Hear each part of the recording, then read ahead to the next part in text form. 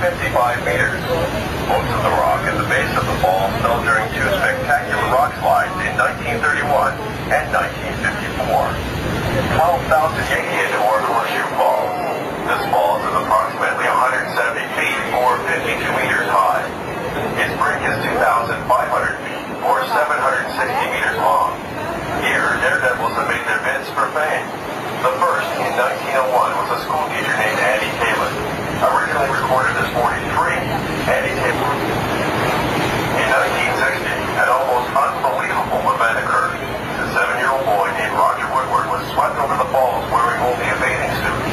Simple life jacket.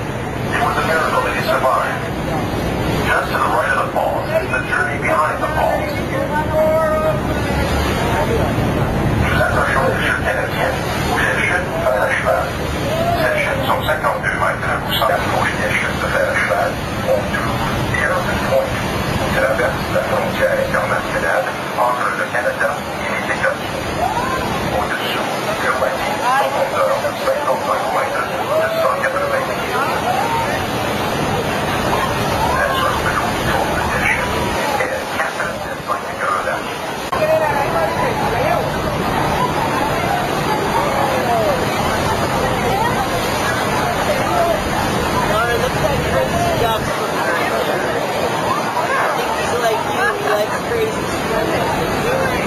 at him.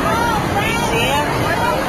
It's Birdie! What's he doing out there? He's like surfing or something.